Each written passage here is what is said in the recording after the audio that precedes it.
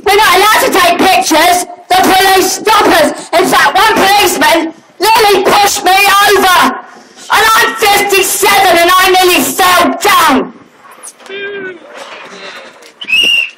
Now, they got no food, no water, no comfort. This Thanet district is that, uh, district council is that hard up that they have to profit from this greedy trade. Well, do you know that they're charging £750 for that shipment, each shipment? Now I'll give it to them. I'll sell the house and I'll go and live in a tent. They can have it if it'll it.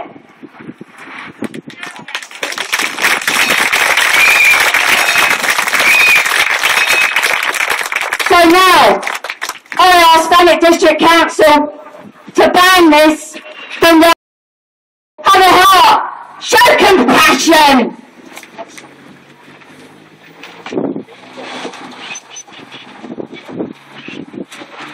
Yes, mothers want their babies back. The baby calves I heard screaming for their mothers. They want to go back to their mothers. They don't want to go for Bill. They don't want to. If we call ourselves human beings, then we have no right to make these innocent animals suffer for our own selfish ends. And worldwide, it's horses, pigs, sheep, cows, and even dogs are being exported in horrendous conditions. This abuse must stop. Now I know the people of Thanet will come and protest at Ramsgate Port, won't you? You come and stand by my side. You come and join us. I know the numbers will increase. Now write to Thanet District Council. Write to the Port of Ramsgate. Write to your MP. Tell them we don't want it.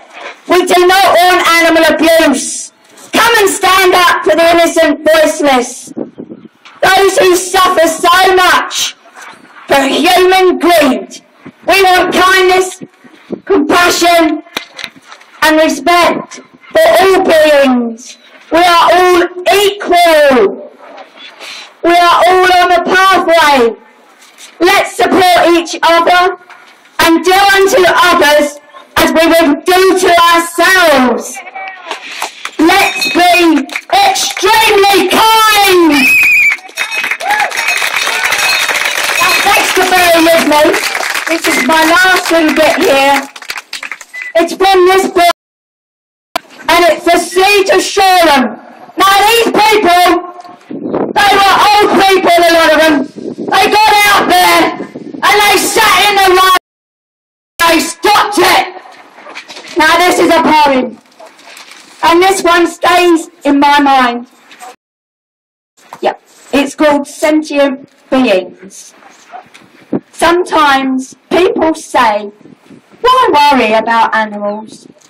What about children and people? I would say that compassion is not divisible. I do not know anyone who is concerned about who is not also concerned about children and people. God gave life to all. They are sentient beings. They have characteristics, personalities, and suffering. We all have a responsibility to those animals. This is produced speech made at St. Peter's on Saturday, the 18th of February 1995, with the kind permission of Sir Andrew MBE MP. Now don't just go home and have a cup of tea and put your feet up. Be, be ready to come out and do something about extreme, horrendous animal abuse. Now you with us? Are you with us? Well done for coming and keep up the good work.